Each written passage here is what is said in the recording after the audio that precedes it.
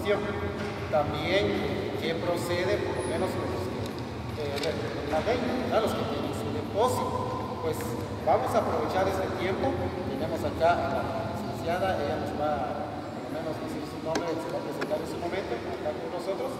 Y tal vez yo creo que es el momento oportuno para que aclaremos todas las dudas.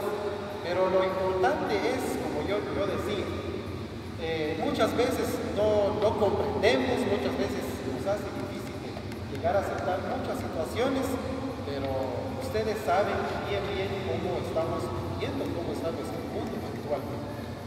Hace un momento hablamos con compañeros, parte de los que están acá también. Eh, por ejemplo, tenemos el municipio Díaz Lago Blanco, San Pedro, que prohibió ese municipio.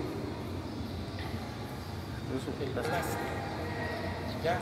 Cada municipio, cada departamento está viendo ahorita cómo por lo menos conservar los últimos recursos quedan de nuestro Según estudios eh, realizados aquí a 30, 40 años, dicen que el aire ya va a estar por lo menos a un 80, 90% de contaminado. O sea que el mundo, nuestro mundo va a va a estar, por lo menos va empeorándose cada día.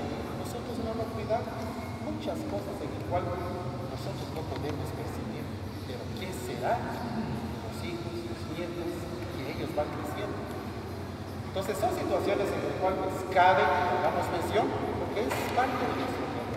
Entonces, yo dejo ya inmediatamente el tiempo para la licenciada que está acá con nosotros, Antonina, para que ella empiece por lo menos a platicarnos principalmente cómo es el convenio entre las municipalidades en cuanto al corte de árboles o la organización y en su momento pues vamos a tener un tiempo, ¿verdad? Para cualquier pregunta que surgiera, pues aquí están los especialistas con nosotros para que nos puedan por lo menos eh, hacer ver qué hace o qué, qué procede para que salgamos aquí por lo menos bien informados, sobre todo las cosas ya bienvenida.